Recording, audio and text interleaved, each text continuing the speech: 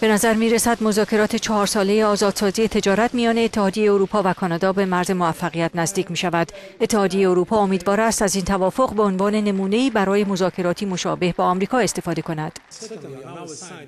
ما از طرف خودمان امیدواریم این توافق استانداردهای لازم را برای مذاکراتی دیگر از قبیل گفتگوهایمان با آمریکا بگذارد.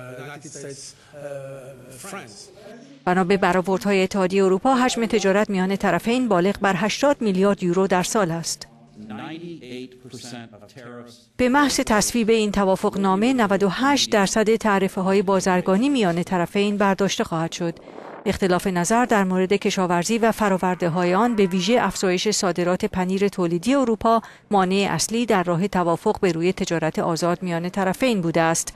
گفتگوها اما تنها بر سر سهمیه صادرات اقلام نیست. اگر رهبران اتحادیه نمایندگان و پارلمان اروپا و ایالات کانادا موافقت کنند راه برای شرکت های اروپایی و کانادایی برای عرضه خدماتشان هموار خواهد شد.